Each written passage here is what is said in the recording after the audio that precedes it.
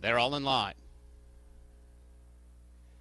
And they're off. And first mandate broke alertly. Lawyer Jen is now rushing up toward the outside. Merry Mary Lynn is there from the rail. During is moving on through. Savannah Sings also right there in that second flight with Sharper Lisa now moving from the far outside. They're followed right now by I Love Gaby, who's already nine lengths off the lead. Room at the rail for High Dollar Escort. They're followed by Tiny Tune Lily and Forbidden Halo. And Dancinatthewhitney is the trailer. And she's a long way behind Lawyer Jen and Cecilio Penalba. Lawyer Jen 50 to 1. She's got a six length lead as Sharper Lisa now comes after her from the second spot. These two are moving away from the field. Aduring third, Savannah sings I Love Gaby up on the outside. And at the head of the stretch, Lawyer Jen's got three lengths to work with. Lawyer Jen down to the final furlong. Whip out on Sharper Lisa. She tries to reel in this long shot, but she is not doing it. Lawyer Jen is going and going and gone. Lawyer Jen 50 to 1, and she was never in any danger today.